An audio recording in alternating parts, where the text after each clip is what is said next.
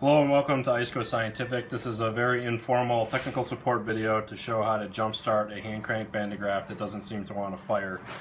A couple of things to point out first. This is our PH0918A model. Um, out of the box, a couple things I recommend doing is cleaning the dome with rubbing alcohol.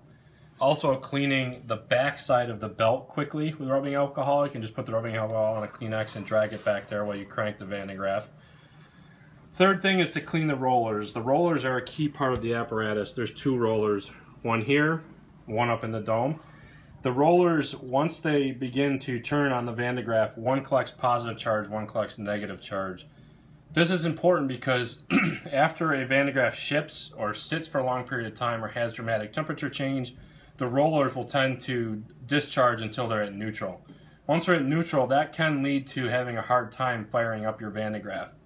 So later in this video, I'll discuss how to basically jumpstart that Van de Graaff. You'll notice that I have a basic banana plug cord plugged to the bottom of the unit right here. And I plugged to the other side of the discharge wand up here.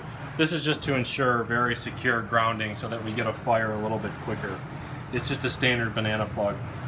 One thing you can do is if you're having issue getting it to fire is to actually rub wool or silk across the roller and what that'll do is basically induce a charge on that roller that's opposite from the other roller and kind of jumpstart the Van de Graaff.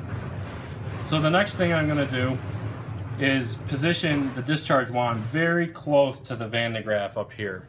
And the reason you need the discharge wand close to the top of the Van de Graaff is this helps draw the current from the rollers to the belt to the dome and then arc between the discharge wand and the Van de Graaff. Since this Van de Graaff was at a very cold temperature, it's about 58 degrees in here right now and the relative humidity is about 45%, you'll st it'll start very, very close and you'll only hear the spark. So after you hear the spark, you can slowly start to pull the Van de Graaff away and you'll generate more arc, more electrostatic charge, but it takes time to build on the rollers and that's what you'll see in the rest of this video. So I can hear just a little bit of spark. Can't see it yet.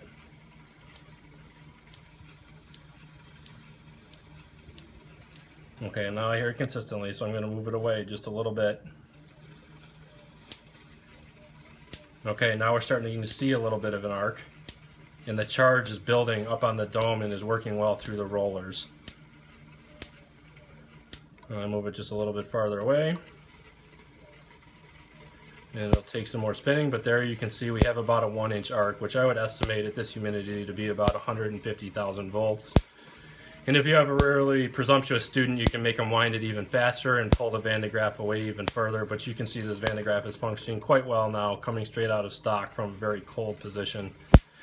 If you have any further questions, please let me know. My name is Ben Pearson. That's ben.pearson at eiscolabs.com. That's B-E-N dot P-E-A-R-S-O-N at eiscolabs.com. I'd be more than happy to help. Have a good day and take care.